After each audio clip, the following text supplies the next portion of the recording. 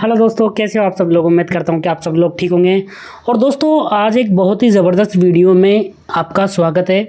और दोस्तों, आज का वीडियो हर एक सब्सक्राइबर को देखना ज़रूरी है, क्योंकि आज के वीडियो में हम बहुत ही इम्पोर्टेंट बात करने वाले हैं, जो कि कोई भी डीलर या सेलर या कोई भी कंपनी आपको नहीं बताएगी।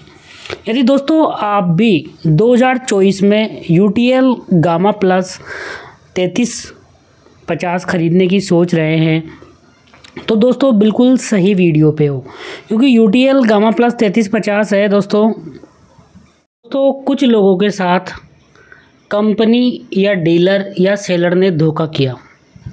तो उनमें जो भी कमी है, वो डीलर या सेलर की है। उसमें कस्टमर का कोई भी लेना देना नहीं है। क्योंकि U T L gamma plus, तैंतीस पचास को सब्सक्राइबर ने ख़रीदा। उन्होंने यही सोच के ख़रीदा कि इसमें लिथियम आयरन फोस्पेट बैटरी का सपोर्ट दिया गया है। पर दोस्तों, आप में से भी बहुत सारे लोग नहीं जानते होंगे कि U T L gamma plus, तैंतीस पचास के दो मॉडल आते हैं।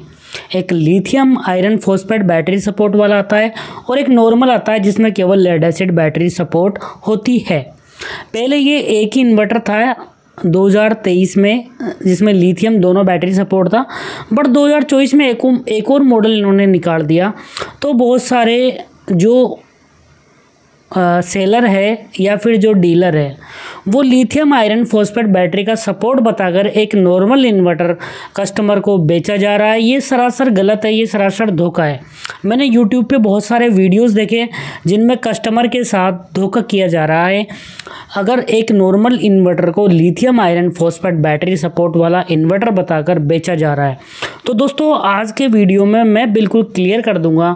इस वीडियो को देखने के बाद दोनों इन्वर्टर में आप डिफरेंस भी पता कर पाओगे। और कौन सा इन्वर्टर आपको लेना है, उसके अकॉर्डिंग आप इन्वर्टर को देखकर ही डिफाइन कर पाओगे। तो सभी लोगों से रिक्वेस्ट है, इस वीडियो को ज़्यादा से ज़्यादा लोगों के साथ शेयर करें, जिससे किसी भी वीवर या जो हमारा सब्सक्राइबर है, उसके साथ कोई भी धोखा नहीं हो। कोई भी डीलर सेलर या कंपनी आपके साथ धोखा नहीं कर पाए।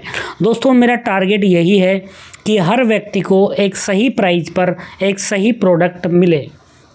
ये हमेशा मेरी कोशिश रहती है। तो इसके रिगार्डिंग आप लोगों को जागरूक करने के लिए मैं टाइम टाइम पर ऐसे वीडियो लाता रहता हूँ। तो आइए देखते हैं दोनों इन्वर्टर में क्या डिफरेंस है और समझते हैं डिटेल में। तो आइए स्टार्ट करते हैं वीडियो को। तो ये एक यूट्यूबर है। उन्होंने एक सेलर से ये इन्वर्टर ख़रीदा और उन, उस सेलर ने उनको बताया कि ये इन्वर्टर लिथियम बैटरी सपोर्ट करता है। और इस इन्वर्टर पे भी लिखा हुआ है पीछे की साइड कि ये इन्वर्टर लिथियम बैटरी सपोर्ट करता है बट एक्चुअल में नहीं करता है। तो फिर उस यूट्यूबर ने बोला कि, सर, मुझे लिथियम बैटरी का सपोर्ट चाहिए। मैंने लिथियम बैटरी लगाने के लिए ही ये इन्वर्टर ख़रीदा है। तो उसने डीलर से बात की। तो डीलर बोलता है कि, आप कंपनी में बात कीजिए। तो उसने कंपनी में बात की। तो कंपनी वाले बोलते हैं कि, आप हमें ढाई हज़ार रुपये प्लस जीएसटी दो। तो हम आपके इन्वर्टर में इन्वर्टर को लिथियम सपोर्ट बना देंगे। तो दोस्तों, ये तो बहुत ही गलत चीज़ है। फिर उसने वापस सेलर को फ़ोन किया तो सेलर ने बोला कि मुझे जानकारी नहीं थी। भाई, अगर जो आदमी इन्वर्टर बेच रहा है, उसको जानकारी नहीं है तो किसको जानकारी होगी? ये कोई जो भी लोग खरीद रहे हैं, उनको भी इस चीज़ के बारे में जागरूक होना चाहिए। क्योंकि जो इनके साथ हुआ, वो आपके साथ नहीं हो। तो इसके लिए मैं बताता हूँ, देखिए यहाँ पे जो ये नॉर्मल इन्वर्टर है, इसमें कैलिब्रेशन लिखा होता है यहाँ पे। जो बैटरी टाइप होता है, इसमें कैलिब्रेशन होता है। और ये जो नॉर्मल बैटरी होती है लेड एसिड बैटरी वही सपोर्ट करता है ट्यूबलर बैटरी मतलब देखिए यहाँ पे।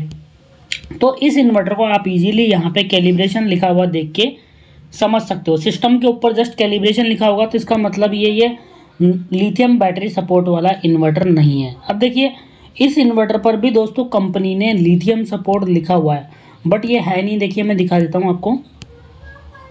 देखिए दोस्तों यहाँ पे देखिए, यहाँ पे लिखा हुआ है क्लियरली कि देखिए सेकंड पॉइंट देखिए आईटी मोड इनेबल के नीचे लिथियम बैटरी सिलेक्टेड अगर इस स्विच को आप तीन बार दबाओगे तो लिथियम बैटरी सिलेक्ट हो जाएगी.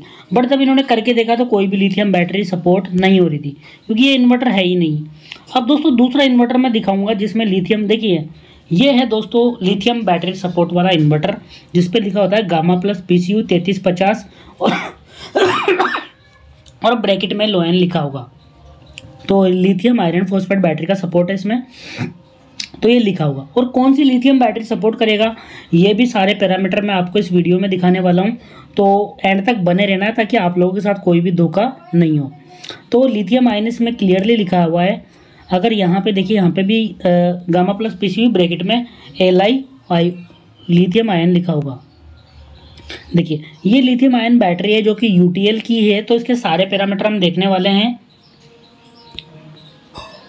देखिए, अगर बैटरी के पैरामीटर देखें तो दोस्तों 25.6 वोल्ट मतलब कि लिथियम आयरन फॉस्फेट अगर हम सिंगल बैटरी देखें तो 12.8 वोल्ट की होती है। अगर दो, अगर 24 वोल्ट में देखें, दो से मल्टीप्लाई कर दो 12.8 को तो 25.6 वोल्ट आ जाता है। मतलब कि lithium iron phosphate battery inverter support करेगा। यहाँ पे इन्होंने हंड्रेड एच की बैटरी लगा रखी, इसका मैक्सिमम चार्जिंग करंट है अस्सी ampere. Maximum charging current, discharge current है अस्सी एम्पियर, चार्जिंग करंट है forty five ampere. Low cut off voltage है बाईस पॉइंट आठ वोल्ट और अपर कट ऑफ़ वोल्टेज है अट्ठाईस पॉइंट पाँच वोल्ट। और डिस्चार्जिंग करंट, ये है दोस्तों। तो दोस्तों, अगर आप कैलिब्रेशन वाला इन्वर्टर गलती से आपने ख़रीद लिया है तो ये सारे पैरामीटर आपको सेट करने होंगे आपके इन्वर्टर में। पर मेरी एडवाइस तो यही है कि दोस्तों, आप जो लिथियम आयरन फॉस्फेट सपोर्ट वो बैटरी वाला इन्वर्टर है, ये लीजिए। देखिए, इसकी बैक प्लेट एरिया हम देखें तो gamma plus P C U तैंतीस पचास ब्रैकेट में लिखा है लोएन और यहाँ पे अगर वी ओ सी की बात करें, एक सौ छः वोल्ट इसकी वी ओ सी है तो सारे के सारे पैनल ये सपोर्ट कर लेगा। और दोस्तों, अगर हम इसके बॉक्स को देखकर कैसे पहचानें तो ये भी मैं आप लोगों को बता देता हूँ। देखिए, यहाँ पे क्लियरली आप देख पा रहे होंगे देखिए मैं बताता हूँ आपको।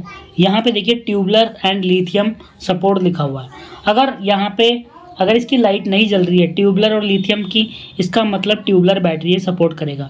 जैसे ही स्विच को तीन बार आप कंटिन्यू दबाओगे तो इसकी लाइट ग्रीन हो जाएगी और ये लिथियम बैटरी सपोर्ट करने लगेगा। तो ये वाला इन्वर्टर है, जो कि लिथियम बैटरी को सपोर्ट करता है, जिसमें यहाँ पे लिखा होता है ट्यूबलर और लिथियम। जो नॉर्मल वाला होगा, यहाँ पे कैलिब्रेशन लिखा होगा। तो तो दोस्तों, इस प्रकार आप इस इन्वर्टर को पहचान सकते हो।